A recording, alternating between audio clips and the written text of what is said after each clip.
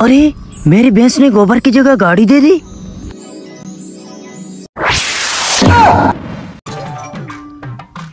अरे ये छोटी कार एकदम से बड़ी कैसे हो गई? हम्म, घूम के आता हूँ।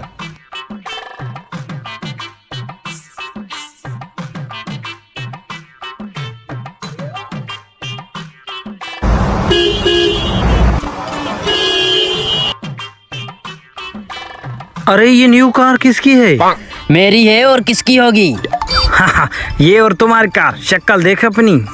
मेरे पास ना एक जादू वाली भैंस है। अरे जा जा टाइम खोटी ना कर। आ मेरे साथ गाड़ी में बैठ तो मैं जादू वाली भैंस दिखाता हूँ।